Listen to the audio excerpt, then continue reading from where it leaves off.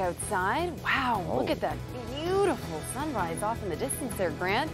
We're in for some weather whiplash, though. It feels like winter this morning, then jumps to summer by the afternoon. So a little bit of everything in just one day. Yeah, definitely. But we are starting off early this morning. It's 6 o'clock. Good morning to everybody out there watching. What a beautiful sunrise. Yeah, that was gorgeous. You know, we've been spoiled for a few weekends in a row, but, you know, I wanted your take on this. I feel a little confused when it comes to the weather right now.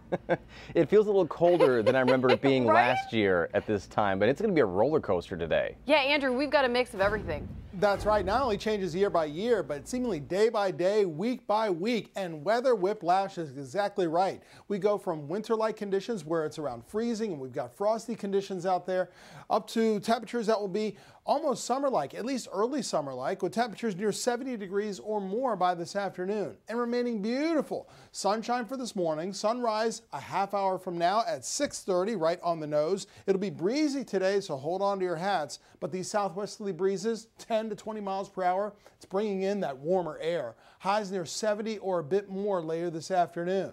So yes, it is cold out there, but not for long. 34 degrees, or only 2 degrees above freezing right now. Temperature may go down just a bit in the next hour or two. We're looking at uh, winds out of the southwest, so far gentle at around 5 miles per hour, but it's at freezing or below. This is where you're getting some frost out there. Places like Monroe, some patchy frost, most likely in Lapeer, more widespread far frost the farther north you go, with temps in the upper 20s and low 30s. And today we make it to near 70. Tomorrow, that's right, close to 80 degrees. So really like feeling like summertime on Sunday. But there is some rain in our forecast before the weekend is over. We'll talk more about that in minutes.